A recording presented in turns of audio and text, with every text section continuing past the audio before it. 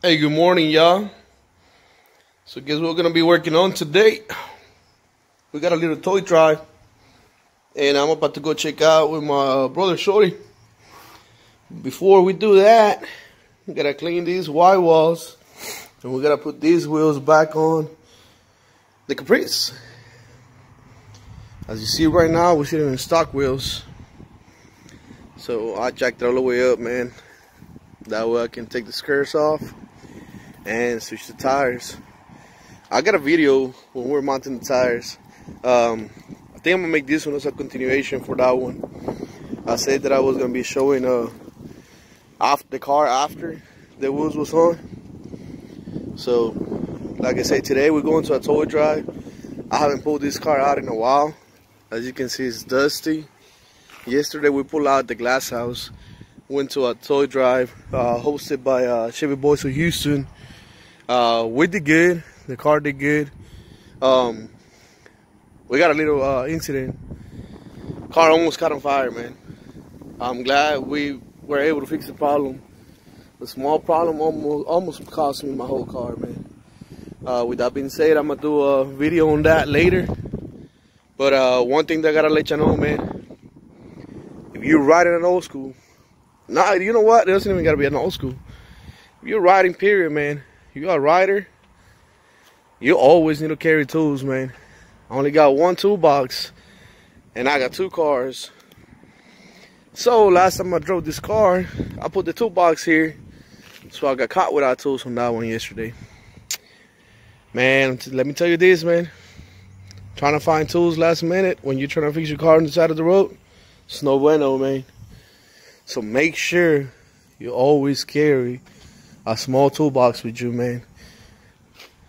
So what I've been saying, man, uh, let me jack up the car and uh, we're gonna continue this video. Alright man, before we put these wheels on, the first thing we gotta do is uh, clean up the white wall. As you can say, uh, as you can see, we still got the uh, blue residue on the white wall. The reason why they do that is so they can protect the white wall and it doesn't get damaged if they stack them up on top of other tires. One of the things that I like, well, one of the products that I like using is Bleche-Wite, man. This one works really good for white walls.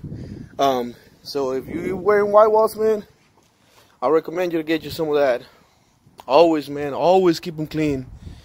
Don't be, don't don't get caught, man, riding white walls so dirty, man. That's not what you're supposed to do. So, with that being said, man, let's wash these tires, man, and let, let's get them clean.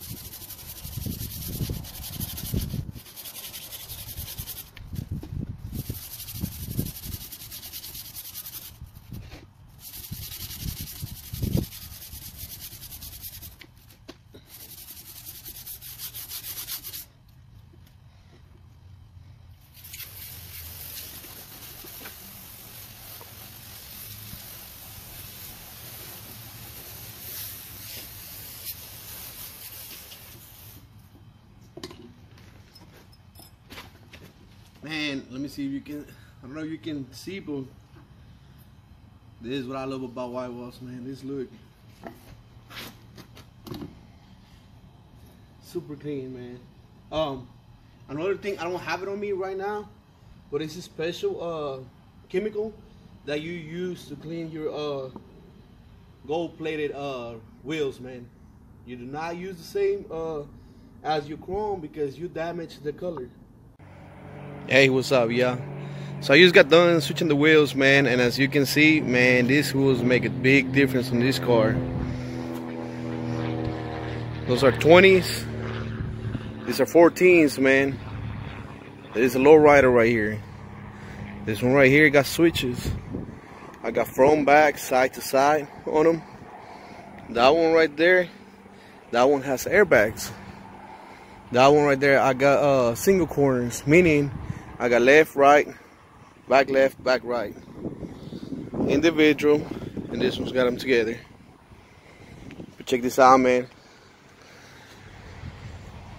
Doesn't even look like the same car. Wheels make a lot of difference, man. Those are the wheels, the OGs. Uh, of course, they don't got the hubcaps right now because they're off the car. But man,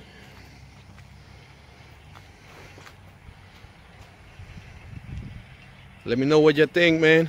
Um, I got a 61 wagon I'm gonna be working on. Uh, I gotta bring it over here. I just moved to a new place. Uh, once I bring it over, we're gonna start doing uh, more videos on uh, the restoration process for that car. I like working on my cars, so pretty sure we're gonna have a lot of videos. So let me know what you think, man. Uh, let me know if y'all need to know anything about the cars. Uh, like I said, that's a 75 Impala also known as a glass house. Uh, donk this one even though it's a low rider it's also a donk. Uh, a lot of people got uh, the concept that uh, donks are only cars on big wheels. That's not true man. 71 to 76 uh, 71 to 76 uh, Chevys those are considered donks. So if you see a car with big wheels that's not a donk man. This is a straight low rider but you can also call it a donk. All right, man. So let me know what you think. Uh, let me know what videos y'all would like to see.